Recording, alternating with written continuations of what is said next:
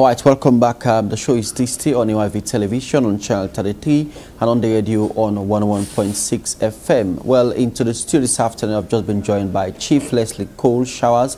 Um, he's the National Public Relations Officer, um, at Correctional Service, and he's here to discuss about the 300 limit, which will be moved from the Freetown to Mafanta Correctional Center. And also I've been joined by Mohamed Mutala and he's here to discuss about the proposed Miss Correctional. Um, gentlemen, good afternoon, welcome to the show. Good afternoon. And also Mutala. Um, relocating 300 of them, and I could recall sometimes um, back when we went to the prison, I spoke with you, and um, the, the number, you know, at the, the, the, the correctional center, it's quite very high. And um, uh, so it, it, means you guys are reducing um, the people, the inmate there to see that, you know, they have some space wherein those who will be coming as well will be having some chance to, to be freely moving. Yes, of course, you're absolutely correct. Um, as an institution, we are overburdened with the issue of overcrowding. So much so that for me to, even say we are challenged with overcrowding has become a cliche. Mm. Now in people's ears, they are tired of hearing it.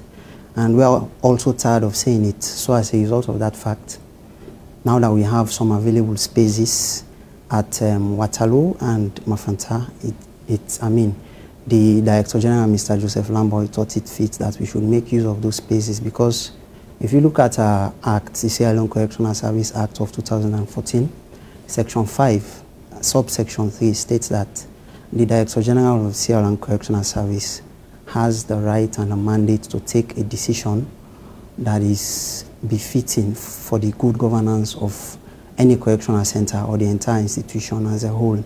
That's why we made that decision. A lot of people are wondering, where is this Mafanta situated? Mm. Let me just explain briefly. Mm, sure. Let me give a brief historical background. You know, before the war um, emerged in Sierra Leone, the Mafanta Correctional Center was identified as a place where the Pademba Road Correctional Center should have been relocated. Mm. That's why we were able to acquire 557 acres of land there. That's the land we have there. Mm. And you know, when you go to that center, you look around, you wouldn't be able to see any village around. It's very isolated. It is situated in Tonkolili district, three miles off Magburaka town. That's where it is situated. So when the war came into this country, it destroyed the farm that we had there. It destroyed livestock. It destroyed some blocks that were constructed within the perimeter fence of the center. Mm. And um, over the years, we've been able to reconstruct two. And about a year ago, the United Nations Development Program and the International Bureau of Narcotics and Law Enforcement Affairs under the United States Embassy were able to provide some funds to us to reconstruct two more additional blocks. That is leading up to four blocks now at the Mafanta Correctional Center. And each of those reconstructed, reconstructed blocks has the capacity of hosting 150 inmates each, mm. which equals to 300 inmates. That's why we're able to make a decision to move some inmates from the Pademba Road Maximum Correctional Center to the Mafanta Correctional Center so that they will be able to occupy those two empty blocks. Mm. And past Saturday, we were able to commute 150 male inmates from the Pademba Road Correctional Center to Mafanta. And this... Immediately, um, um, some spaces have been created as well. Yes. Mm. So, and um, so let's talk about how, you know, things is going to be run in terms of those who have actually been relocated at that um, particular center, how the operation is going to look like um, compared to here in Freetown? Well, before the refurbishment of those two blocks, we used to have something like um, 200 inmates, up to 250 inmates at the Mafanta Correctional Center mm. because they did, not, they did not have enough space as compared to now. Mm. So what we used to do with those 240 inmates and some more was that um, we used to bring them out to the farm. We have a very large farm at the Mafanta Correctional Center. Like I said in my mm. introductory explanation, we used, we used to have um, rice farm there, we used to have cassava farm, we used to have livestock, but the war took away all of those things. It is only now that we are trying to re-establish them. And the manager of the Mafanta Correctional Center, Chief Superintendent of Corrections, Mr. Joseph Senesi is a man that studied agriculture at the Njala University and he did his master's at IPAM in public administration. So he's very serious about agriculture. He knows what he's doing and he's been using the 240 inmates. He's been bringing them out to the farm to rear some crop, to, to cultivate some crops yeah. and rear some animals, especially pig and cows. We have about eight cows at the Mafanta Correctional Center now, and we have about 40 pigs at the Mafanta Correctional Center.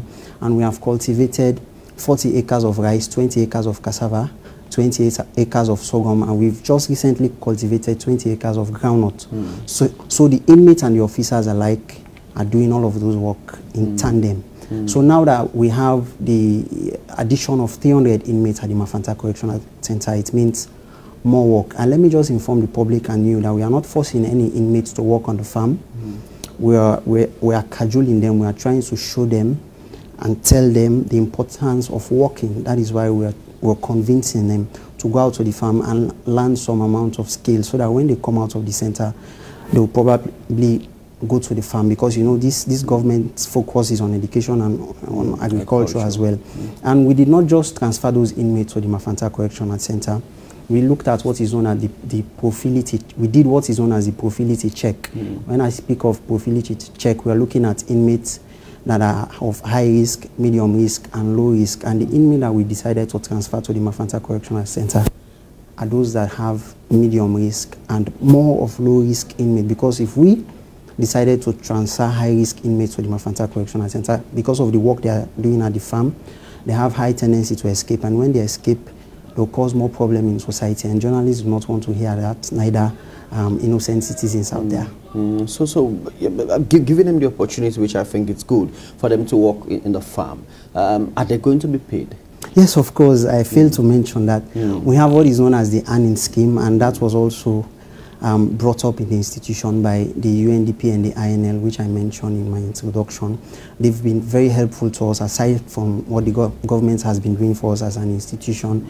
They've provided a lot of money for us. You know, initially, I think early last year or so, they provided the sum of over 300 million loans for us to open bank accounts for inmates who are working in industries and in the farm so that we'll be able to, to credit their accounts based on, on the sales we make by they are doing. Mm. That's what we, we, do now as an institution. All right, it's, it's, it's, it's a very good move by um, the correctional service, yes. you know, and uh, which, which I must commend you guys. So as we speak, um, despite the, the, the, the center here is still overcrowded, uh, but I think it's, it's beginning I don't, I don't know if you want me to do, which is good. And for the statistics before, now, mm. we used to have holding capacity of 1,739. That was our holding capacity mm. before now. Mm.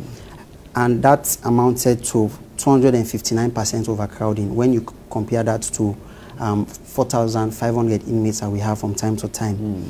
But now that we have the inclusion of the refurbishment of two blocks at Mafanta Correctional Center and the construction of a special center at Waterloo, you know, we now have a capacity of 2,161 that has reduced overcrowding by 51%. Now we have overcrowding of 208% in the, in the whole country. I mean, it's a small step, but huge leap for us as an yeah. institution. And, and for today figure, we have total male is 4,427, that is male inmates. Mm. For female, we have 133, total equaling to 4,560. Mm. For Pademba Road alone, today we have 1,777. And for our female correctional center at Brookfield, Willow Billion, we have 62 of them. So you see the sharp difference in terms of mm. offense and committal by male yeah. and female mm. in the country. So, I mean, by reducing overcrowding by 51%, that means a lot for us mm. as an mm. institution. Sure, it, it's What steps we are going to take? You know, we mm. have new districts now in yeah. Falaba and Karene. The government has demonstrated its, its, its um, support to us.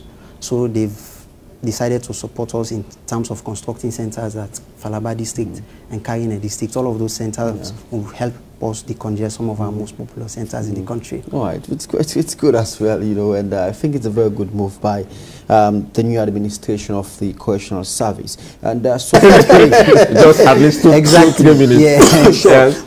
Okay, I, I think um, um, I'll talk directly to the control room. because the last time when we went there, Um, it was nicely, uh, you know, and we even went to the cells. You know, the, the how, how do you call yes, it? Yes, I was with you. The yeah, sure, and the, cells. as well. You know, it was quite very nice, and all of them were actually commending the the management. You know, because um, including Honorable Gevao. Yes, we were there, and um, of course they said um, back then you cannot even go into these places because of the smell, mm -hmm. and you know, but we went in. You know, I I, I even sat, you know, in one of the well, and because I met most of them are my friends. So oh, you can imagine. That was what happened to me when I joined the institution. You know, wow. most of them. Mm -hmm. So it was so a lot of you know. So we, we we speak, and some of them it was quite over two three years. You know, I met them. So it, it was on that note, it was quite very sad for me to see my friends who went to school, you know, and uh, so. Um, but but but on that note, how how are you guys going to keep improving? You know, things going on, you know, and uh, to ensure that um, you know we're gradually moving towards standards. Like you said, we've done a lot of things um, previously, two years ago or so no one could stand the stench that mm. was being emitted by the Pademba Maximum Correctional mm. Center. Mm. But, but that's a thing of the past now because now we have regular water supply. I mean, we've been able to reconnect the water supply from Guma Valley to the Maximum Correctional Center after 20 years. We used to go and fetch water from the Guma Valley hydrant and bring it into the center. We've been doing that for something like 20 years now. Mm. But um, the new leadership of the institution under Mr. Joseph Lamboy thought it fit to reconnect the pipes into the Pademba Road Maximum Correctional Center. Mm. So now we have water. You know, water is very important yeah. for cleanliness. So the inmates are now clean. The cells are scrubbed from time to time. You know, that's why you're able to get an appealing smell mm. when you got there. And it's something that is good for us as well because a lot of officers used to fall sick because of those stench. Yeah that were being emitted by the Pademba Road Correctional Center. And like you said, you met some of your friends there. Yeah. It's no strange thing. Yeah, sure. It happened to me when I joined the mm. institution as well. I met some friends mm. at the Pademba Road Maximum Correctional Center, and it was a very sad moment for me. But it is an indication that we should treat them like people and not like animals.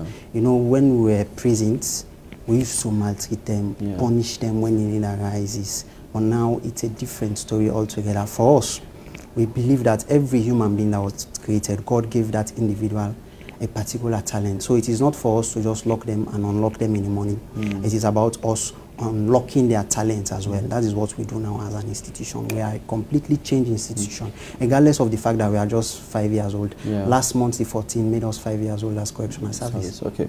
All right. Thank you very much, I'm Leslie, for being part of the show of thank this you day. You're always welcome. Sure, sure, definitely. And also Muntala, thank you very much. We'll keep engaging you because that's a very good idea. Um, anyway, um, well, we go for a short